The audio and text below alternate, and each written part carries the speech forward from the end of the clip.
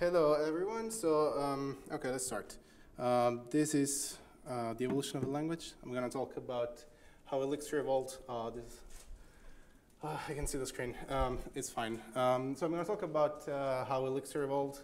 Um, I've been uh, using Elixir for about four years now. Um, so about around time when 1.0 came out, and we and I joined the Elixir team like a couple couple of years couple of years after that. And uh, so I've been think I've been seeing how the language evolved since 1.1. And I think that's what we're mostly going to talk about today, like how um, it evolved after hitting 1.1. So how the language grew uh, as a stable language. Um, this is my handle on the internet. Uh, it has been said. Uh, it has been said I'm uh, in the Elixir core team. I joined in 2016. So I did like one year and a half of Elixir before being in the core team, and then I joined the core team, and I've been there um, since. So I started in uh, with Elixir in uh, like late 2014. So it's uh, about five years now. Uh, this is something I do at every conference. It's a conference selfie. So if we can do a conference selfie, this is really hard because yes, that's the spirit, but I'm gonna have to. it's a very long room, so so we have to do it like this. But the hands up were a really great idea. Yes. Hello. Perfect. Uh, this is a partic- like a unique conference selfie because my mom is here. I brought her over from uh, Italy. So it's, it's been, uh, yes, uh, long journey. Yes.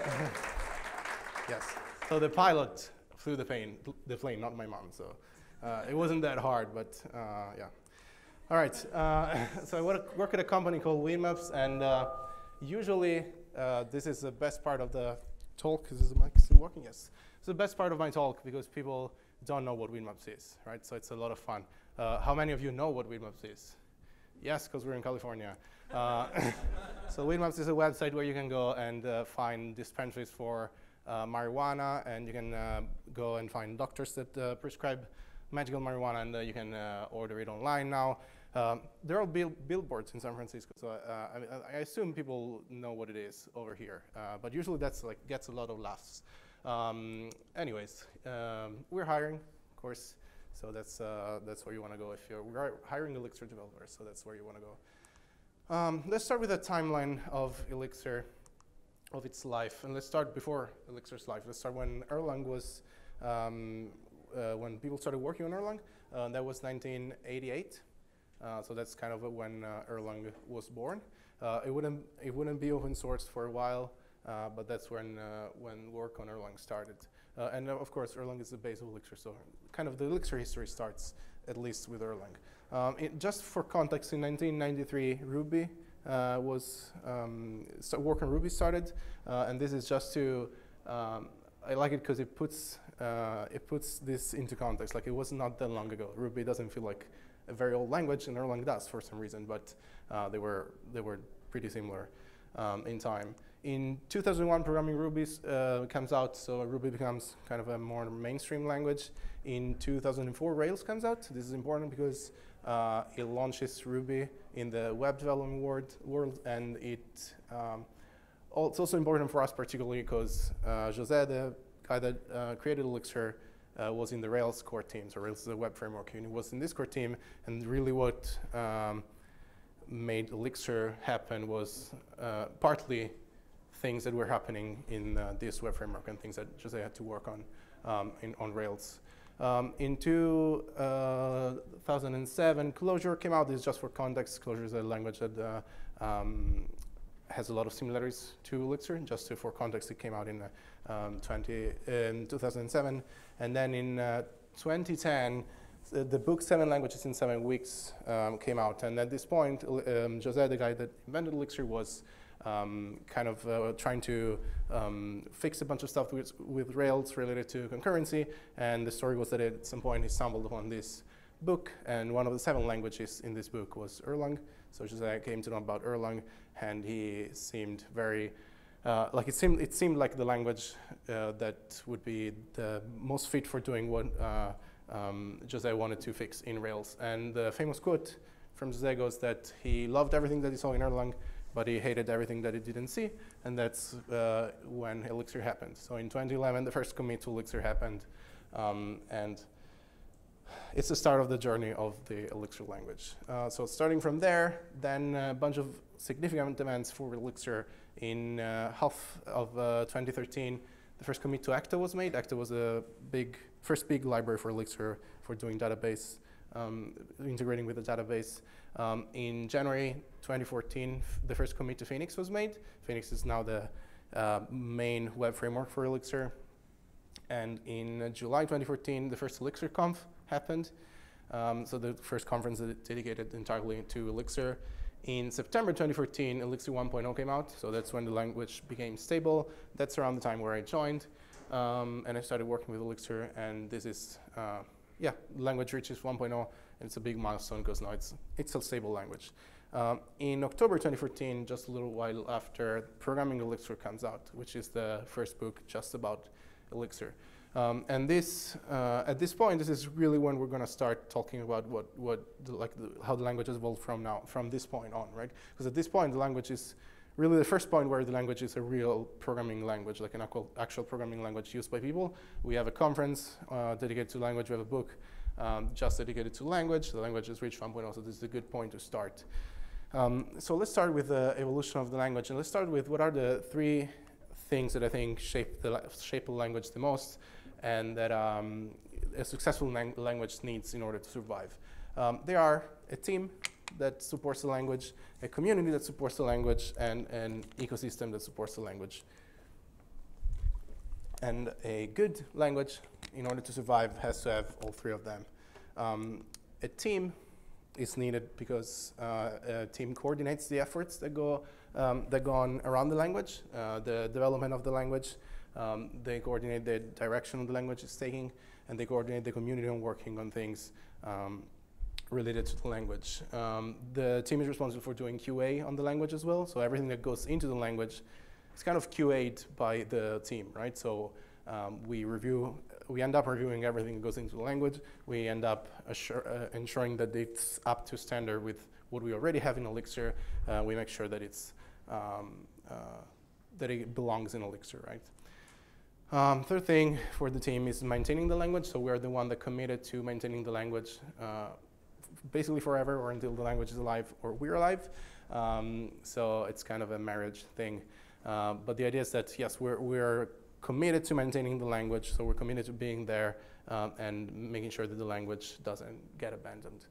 Um, the community is, real, is uh, arguably more important than the language. The language can have a team it can have a community and a small team, but it can't have a team and no community, right? Otherwise, it's not really um, a language. So the community is responsible for a bunch of things. The first one is experimentation. So they're the ones that kind of drive the lang- like explore the language and explore what can be done with the language and drive the evolution of a language forward. Um, they're responsible for the ecosystem as well. So a language without an ecosystem is not really a usable language because there's no, like you probably don't want to reinvent the wheel for everything that you want to do. So an ecosystem is important around the language. So you have like libraries and learning resources and um, uh, books and conferences and everything that goes around the language and makes, makes sure that the language um, evolves and stays alive and, and thrives. And of course, the community is responsible for using Elixir because if you have a language and nobody uses it, uh, what's the point? Um, so, okay. Um, in, this, in this like last five years, did Elixir grow? Um, it's really hard to tell from data because uh, it's really hard to measure the growth of a language. Um, personally, feels like it has grown uh, a lot because there's more people using it, there's more events. But a few stats we can look at. The first one is contributors. So the number of contributors has been growing. Um, this is the this is new contributors each year to the language. So the, the number is growing, and this kind of tells you that um, the number of users of the language is growing. Um, this one is really interesting, conferences. Um, so we can see like how in 2014 we said that we only had one um, conferences, right? Like one uh, conference dedicated to Elixir, ElixirConf. Uh, we can see in 2015 the number grows, 2016 even more, 2017 2018, there's a lot more conferences going on right now, right? So this is a measure that the community is growing, right? There's more, um, there's more need for conferences about Elixir. People uh, want to go into more conferences about Elixir. Uh, and if these conferences happen, it means that the community is there and that the community is, um, is kind of thriving uh, and growing. Uh, Hex users, it's an interesting graph as well. This is number of Hex, new Hex users. Hex is the package managed for Erlang and Elixir. Um, the number of Hex users has been growing. The number of Hex packages has been growing, so people have, have been writing more and more packages. The number of Hex downloads um, has been growing as well. So probably means that the language is being used more and more, right? Um, this is, again, this is a package manager for Erlang as well, but I would say that It's used in Elixir a little bit more, but anyways, like a growth is still a growth, right? Even if it's half. Um, so it seems like the language is uh, is growing, um, and that's uh, I mean, as, aside from the personal feeling that it's been growing, this is the data that we have, and it shows that it's growing. So this is this is good. Um, what are a bunch of things that we got better at since 1.0? So things that are that we are better at now than we were when Elixir 1.0 came out.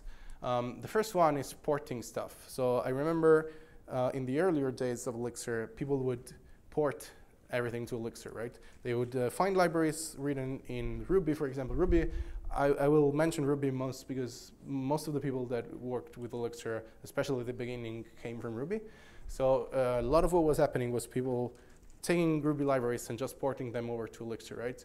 Um, this, most of the time, it turns out this is not the best way to go because Elixir is a different language than Ruby. There's different principles, it have different uh, features and design constraints. Um, so porting things straight from another language usually didn't work. Uh, and it feels like we got a lot better at that. We're now writing better libraries that have architectures that are for Elixir. Um, so it's, uh, it feels like we improved at that. Another thing that we improved at is figuring out that uh, Elixir is not mostly Ruby. So this is, uh, I remember when people uh, talked about Elixir in the earlier days, this is how they would picture it, right? Mostly Ruby, like just sugar uh, on top of Ruby um, with support from a bunch of features from Erlang, right? Um, so it felt like a, like a slightly different Ruby with support for like functional programming and processes built in.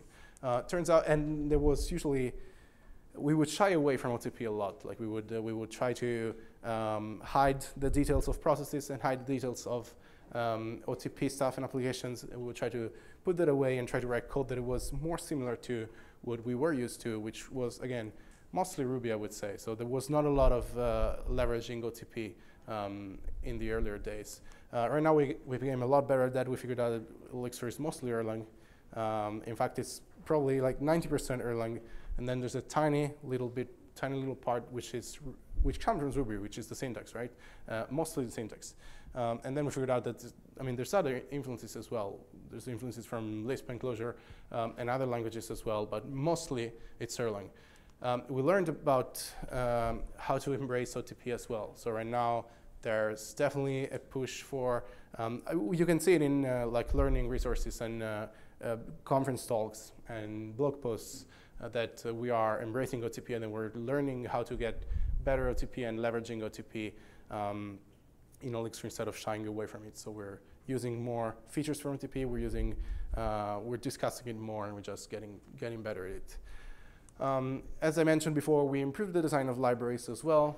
Uh, so right now, um, there's a lot more libraries coming out that are very, very well made.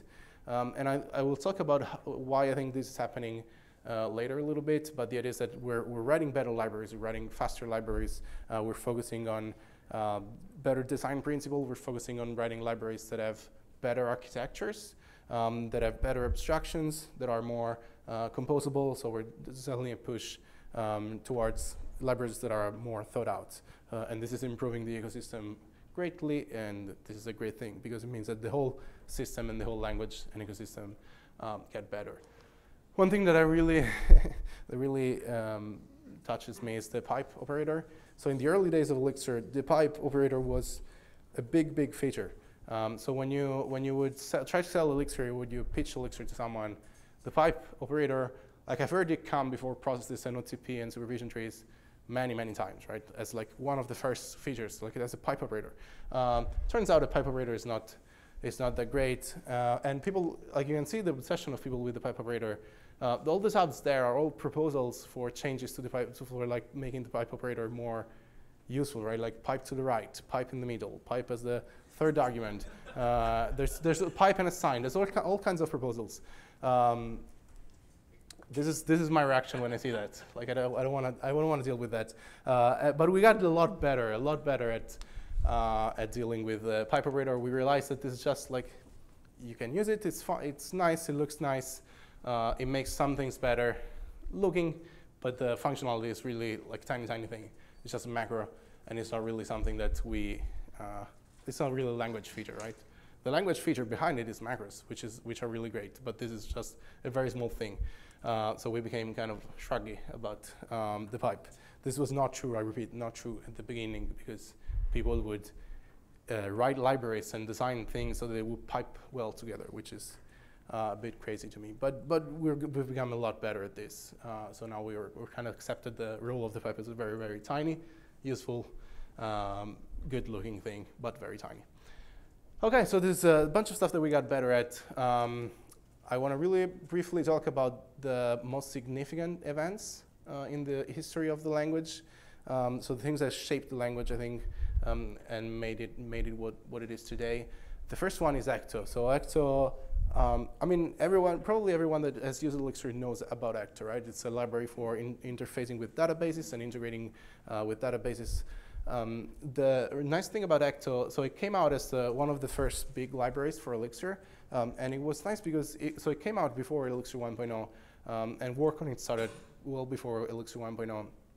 But the nice thing about Ecto is that I think kind of represents the first um, Elixir library that is designed for Elixir, right?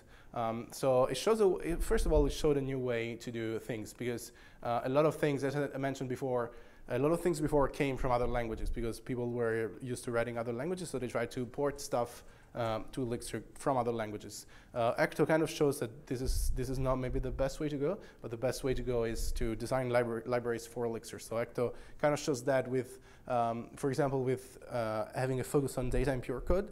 So we had something like the change sets, right? Ecto change sets to, to track changes to, um, to database records. They're just data, uh, data in functions. So this is, and they're mostly pure code, so you can do tests on them um, and all this kind of stuff. And the um, schemas are the same, they're just data and code around it, they're, they're immutable. And uh, it kind of showed that like a good design for a library for a functional programming language is to have a very big core of data and pure code and then a bunch of um, mutable and imperative stuff on top, right? For example, we have the repo, which is where all the, um, the imperative and mutable and side effects uh, side effect operations are confined, right? So it, it showed a way to um, to design libraries in Elixir that was that was more Elixir focused. Um, it also validated meta programming in Elixir. So uh, we kind of we kind of used Ecto at the time to uh, make sure before this is remember this is before Elixir was 1.0, and we kind of used Ecto to validate that the meta programming and the macros in Elixir would work. So we wanted to to know that we could be able to write a library like Ecto without having to change anything in the language. Like uh, we could be able to write the DSL that Ecto has, the, um, the um, uh, syntax for Ecto without having to change anything in the language. So this is, uh, this is what happened. We, we made this DSL and it worked and it kind of validated the, the, design choices in Elixir for writing macros were good design choices. Um, and it showed as well the power of meta, meta. So we will um, turned out to regret this because like when Ecto came out, uh, it really showed the power of metaprogramming and people really got excited about metaprogramming, right? And metaprogramming, it turns out it's um, really dangerous and it's really hard to use uh, most of the time because it's, uh, it's hard to debug and it makes things harder and in, DSLs are harder to understand. So it turns out that, yeah, we will regret this. Uh, now we've become better at this as well. We're using metaprogramming way less. We learned that the best way to do things is usually to have macros as a very thin layer on top of, of uh, code or normal functioning and data structure interfaces. So you write big uh, data functions uh, core, and then you maybe put a slight level of macros on top. Uh, but at the time, this uh, people would write macros for everything. That's uh, that's luckily changed.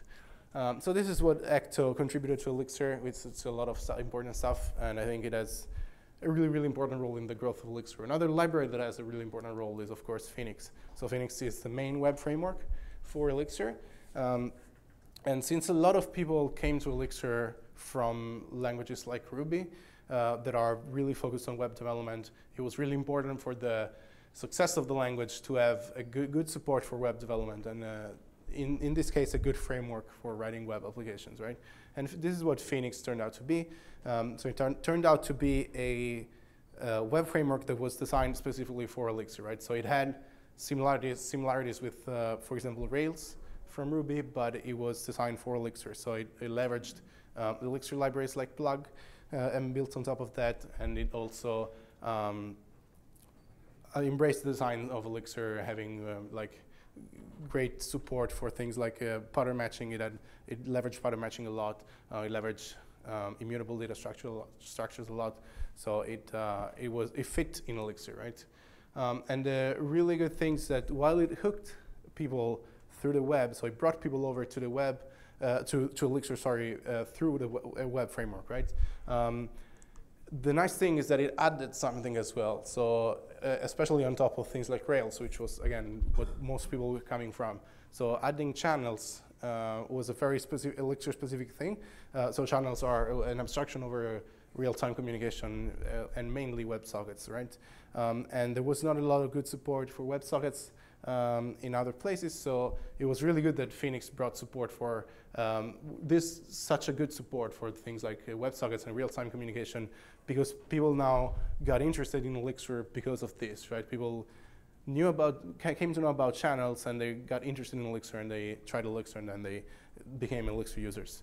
Um, so I think channels are, and then other languages uh, like adopted this kind of designs as well uh, and support for real time, but this really made Elixir kind of known as a, as a language with good, real, good support for real-time web applications, which is really good. Um, and more recently, we got a lot of users uh, hooked into Elixir through Nerves. So if you don't know what it is, Nerves is a framework for building like um, applications on embedded devices and so like Internet of Things stuff. Um, and so we, we really didn't like didn't expect that that Elixir was not just for the web, right? This is like the general feeling was that Elixir was mostly a web language, and it's really good that Nerves came out because Nerves kind of showed that Elixir can do other stuff as well. Um, and uh, I mean, I mean, I guess most Erlang people knew that Erlang was good in embedded devices because that's where it was born. Uh, but it was good to show Elixir people as well that uh, that Elixir can run on embedded devices that can do other, other stuff uh, other than um, than web development. And so a bunch of people came over to Elixir because of how Nerves uh, lets you build um, applications for embedded devices in a pretty pretty um, uh, comfortable and useful way. Um, so this is, this has been really good. Um, what are, so Phoenix, Ecto, and um, Nerves are, are, three, I think, really, really important uh, things that happened to Elixir and that shaped how Elixir is. Um, what are the growth factors that I think are, have been most important for Elixir? So the key factors, factors that made Elixir grow and become what it is today. Um, the first one I think is documentation. Uh, it's not maybe the most important one, but it's definitely a really, really important factor. So everyone I've heard feedback from about documentation loves the documentation for Elixir, right? And the good thing that we have about Elixir is that the language is very well documented, but it also provides very, very well built tooling around documenting your own things, right? So for example, this is how you write documentation in, for an Elixir function. You write it right in the code with Markdown. To write. Um, and then when you once you write this, you can convert it to a consumable documentation. For example, um, in HTML format. So you have the documentation um, in the browser, and this is this is just this is the language itself, but it's the same for libraries as well. And you can, by writing documentation in the code, you can also consuming it in the terminal, for example. So there's good, really good support for writing documentation and then consuming documentation. Um, and I think that that has made the language uh, really easy to consume because, I mean, if it's well documented, people are more willing to use it. Uh, and it's easier to use it, right? The second thing that I think really, really uh, pushed Elixir was the really good support for tooling and user interface and developer happiness, especially over Erlang, especially initially. Um, so we, so Elixir focused a lot on the having good tools and having good user interface. For example, Mix was a really um, selling feature at the beginning, right? Especially compared to Erlang, which didn't have Rebar 3 yet. Um, so Mix, the build tool, was really, really um, appreciated, and having a good um, user interface was really appreciated.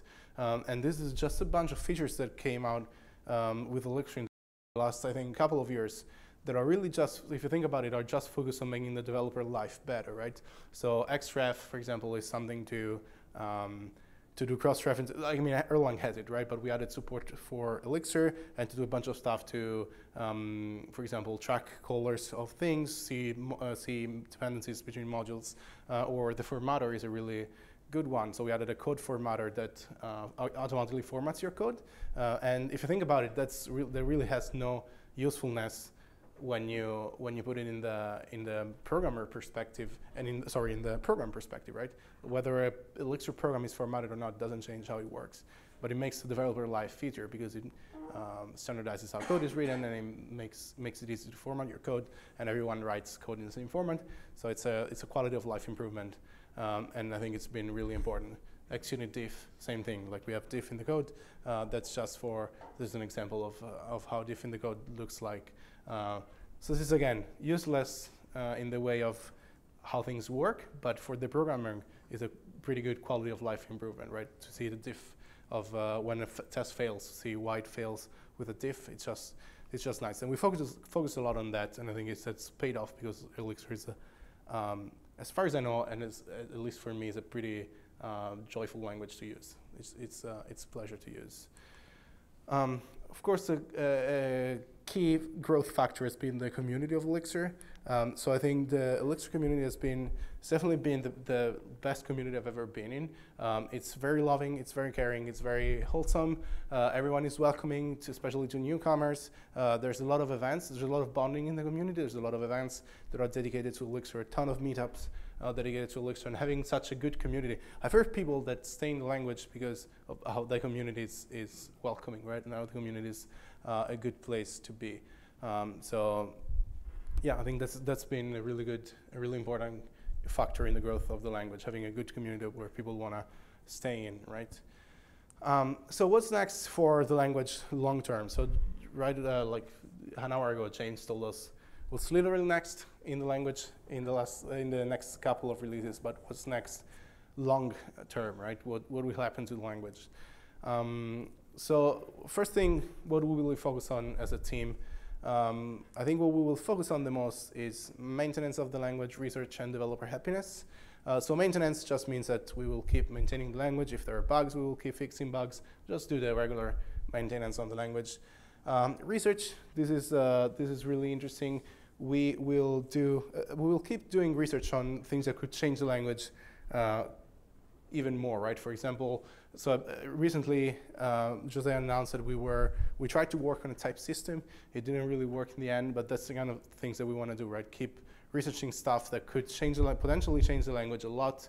Um, so we, we want to keep exploring possibilities of how to uh, to change the language and, uh, and add new things. And uh, for example, the HTTP client that uh, James mentioned before, this is kind of considered as a research project, like a big thing that we are trying to do uh, in Elixir, and then it ends up in something like the, the uh, client that we released. But this is the idea, try to keep researching new stuff um, to build. And then developer happiness.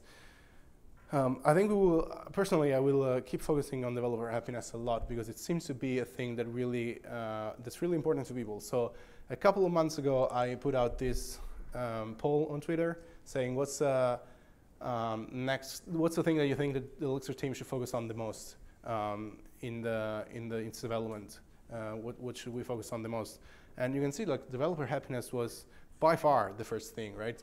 And this is fighting with things like performance or stability. So, like of course people care about all of those, but they would rather that they would rather have us. Like it seems like they would rather have, us, have us focus on making the language a joy to use and and um, easy to use and nice to use rather than focusing on like changing it or innovating it or making it more performant.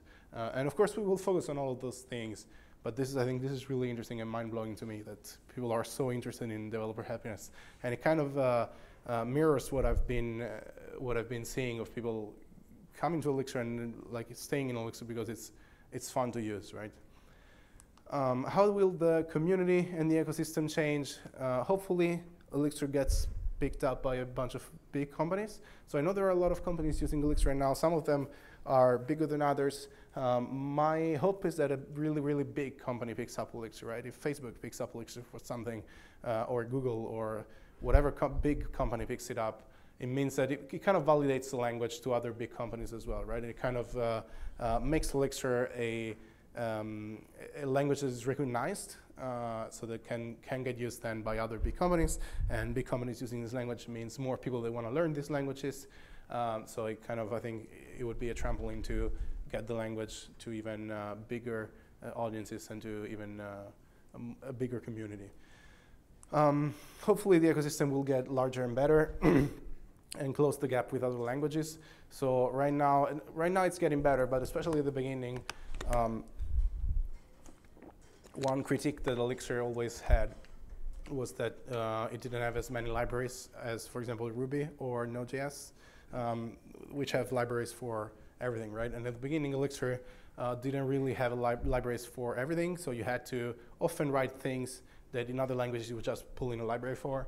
Um, this is getting better. I mean, more and more libraries are coming out. Hopefully, the, the gap will continue to close in the future.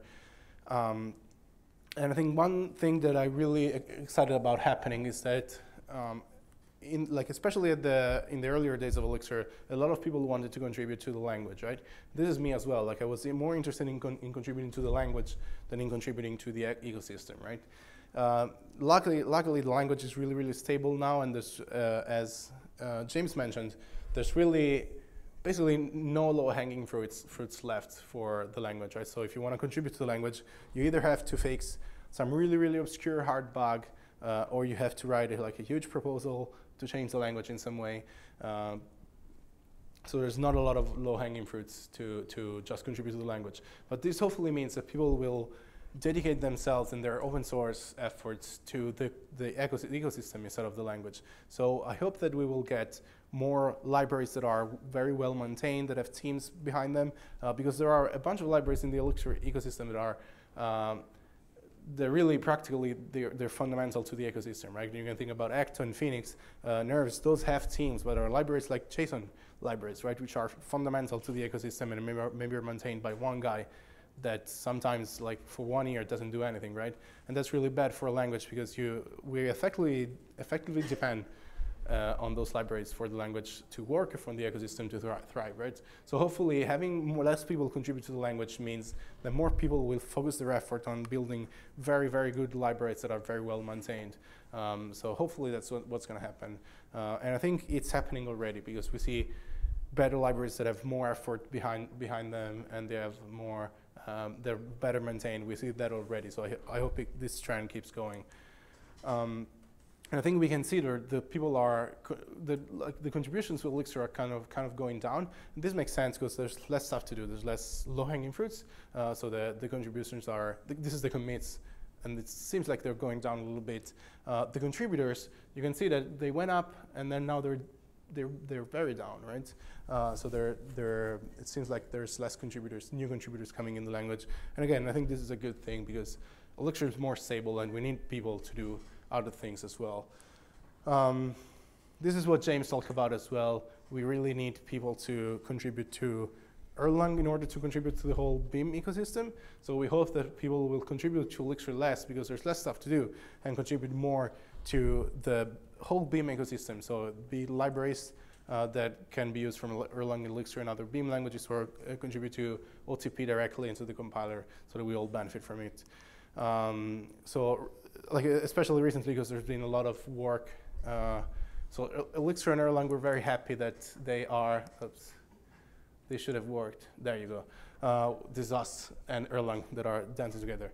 Um, but we're very happy that, that, that, we, that we get more and more contributions to Erlang. This is uh, the contribution, contributions from the Elixir team to Erlang directly. So we're trying to, and when I say we, they are trying because they've never contributed to Erlang, but they are trying to uh, contribute more to Erlang so that we all benefit from it.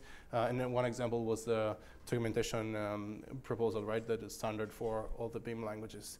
Uh, we're seeing a lot of support from for Erlang in the Elixir library recently as well. So this is an example from Benchee, which is a benchmarking library, which provides an Erlang interface directly so that people that use Erlang can use it natively uh, instead of having to use the, the weird elixir.benchee syntax.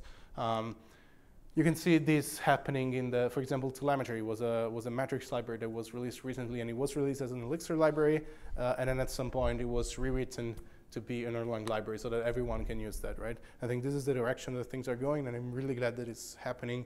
It's because so, so that we can use this kind of stuff from everywhere, right? Not just from Elixir or not just from Erlang. Uh, and again, the EEP 48 for documentation was, was another thing that was kind of directed at benefiting all of the Beam languages instead of just Elixir.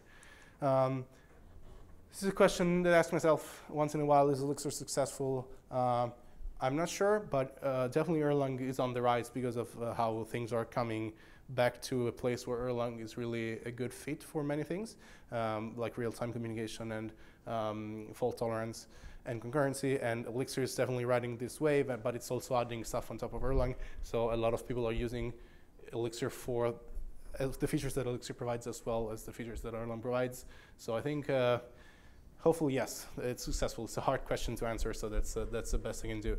Uh, will Elixir survive? I don't really know. Um, um, I'm not sure, but uh, the good thing is that there's no not much relying on the team um, and the language right now to build stuff on the, with the language, right? So the language provides enough tools that you can build a lot of stuff yourself, right? And while this is the graph of commits to Elixir, so it's still mostly Jose. Uh, but the good thing is that we are providing tools so that the community can build things themselves instead of relying on the language. And uh, the HTTP client, again, is an example that's of something that we wanted to build uh, into the language, but then we figured that there was really no need to build it into the language because everything was at, uh, like we could use Elixir to do everything that we wanted to do without changing the language, right? Um, and this is something interesting. So this is the only feature with, you know, the, if you know what it is, it's a, it's a construct um, similar to, to case to basically do uh, to pipeline uh, pattern matchings. Uh, and this is the only thing that we added to Elixir that could only be added to Elixir um, instead of being able to be added on top of Elixir, right? So this is the only thing where we had to change the language um, in like six or seven versions. It's the only thing that where we had to change the language in order to add it because it couldn't be added by users as a library. Everything else that we added could probably have been added by users uh, on top of Elixir, which validates the fact that we provided enough the language provides enough tools and abstractions to pretty much build what you want on, on top of it, which is really uh, what we want. Uh, so how to contribute uh, in the future, as James said, um, most importantly, contribute to uh, things that can be uh, that the whole Beam community can benefit, benefit from, so like the Erlang compiler, and um, I think that if you don't have time to contribute, a really important thing to do is to start discussions around things. So if you think that there's something um, that could be improved in Elixir, often the best thing you can do is write a proposal on how to improve it, even without writing any code. Uh, but writing proposals and starting discussions, uh, I think it's the most important thing because then other people can do the work of actually writing stuff, right? But I think the hard thing is to come up with ideas. So if you come up with an idea, or if you want to improve something, but you don't have time to actually do it, often like starting a discussion or sending in a proposal is a, is a perfectly fine way to contribute, and it's probably the most important part of um, making that change instead of writing it. Uh, ultimately, we as the language authors are just basically giving the language to the community. Uh, that's the language, and we're throwing in, yes. Uh, so we just, uh, we just like the language is in the hands of the community. The language itself is pretty stable. Uh, it's working fine. Um, so there's really not a lot to do on the language. So most of the work is now in the hands of the community on doing on improving the ecosystem and making sure that the uh, whole um, landscape of Elixir and Erlang stays uh, stays thriving and keeps growing and keeps getting better. And that's all I have.